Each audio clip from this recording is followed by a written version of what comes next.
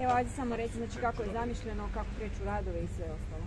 Pa evo, kao što je rekao gradonačelnik, sad krećemo s tim pripremnim radovima i u principu prvi dio zahvata su ovi zemljani radovi, znači idemo sa iskopima, prekid kapilarne vlage, hidroizolacija, da bi se mogla postaviti skela i raditi ovi radovi na pročelju. Ono što je ovdje možda specifično vezano s druge objekte, da mi imamo tu, tu jednu kombinaciju em, radova u smislu sufinanciranja. Grad e, rješava ovaj dio koji nije vezan uz e, cjelovitu obnovu, a to je upravo onaj dio em, koji nam je dogradnja uz ovaj objekat, to je ajde, srce ovog objekta, e, uz taj smještajni kapacitet koji ćemo imati, koji će se osigurati uređenjem, imat ćemo restoran, e, profesionalnu kuhinju koja će moći obsluživati e, veliki broj studenata i korisnika. Taj dio radova e, nam je čista dogradnja u dvorišnom dijelu plus povećanje smještajnih kapaciteta u jednom dvorišnom objektu koji će se rekonstruirati i dograđivati. Hvala.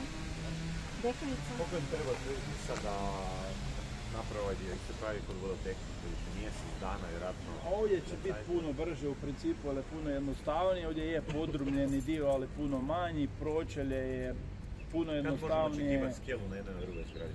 To, to građani sami Pa evo ovako, da, informacija vezano za vodotehnu, danas dolazi gospođa Mirta iz tvrtke Špatula vezano za restauratorske konzervatorske radove na zgradi vodotehne, hubu. E, ujedno će se obaviti konzultacije za Sokolanu i za ovaj dio objekta, s time da ovdje puno jednostavniji su radovi, jer u principu ovo je e, unutar zone zaštićene konzervatorske, ali je jednostavna zgrada po pitanju tih nekakvih složenih profilacija. Tako da će biti u najgorem slučaju paralelno sa radovima od vodotehne. Ne? Jer oni planiraju završiti hidroizolaciju, opa, i ovaj dio ispod zemlje u principu u narednih tjedan dana. Skele očekujemo već u principu idući tjedan bi trebali krenuti sa prvim dijelom.